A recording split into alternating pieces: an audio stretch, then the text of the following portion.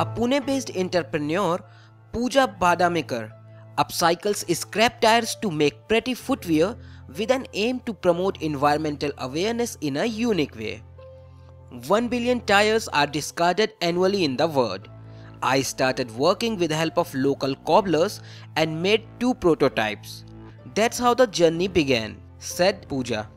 Pooja, a postgraduate in renewable energy has been working on converting scrap tires into footwear through her footwear brand Nemital for last 2 years.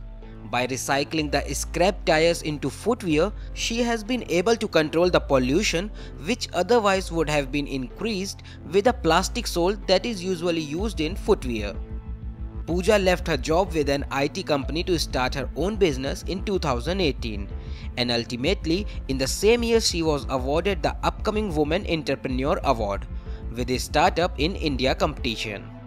By recycling the tire into footwear, the environment has been saved in many ways, says Pooja. Conventionally, we use virgin rubber or plastic material as sole for footwear.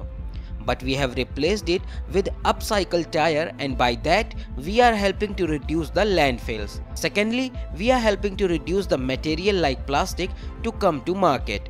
And the third thing is we are reducing the use of resources such as oil and water which otherwise might have been consumed for manufacturing of that plastic or virgin rubber, said Pooja.